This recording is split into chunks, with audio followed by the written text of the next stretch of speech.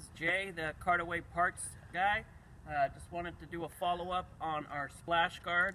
Uh, I got a used piece of equipment in a couple weeks ago, and my mind started going about what the splash guard can do for you guys out there.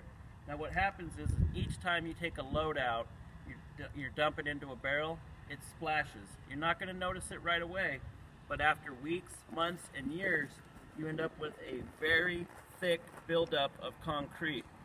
This concrete not only looks bad, but adds weight to your trailer.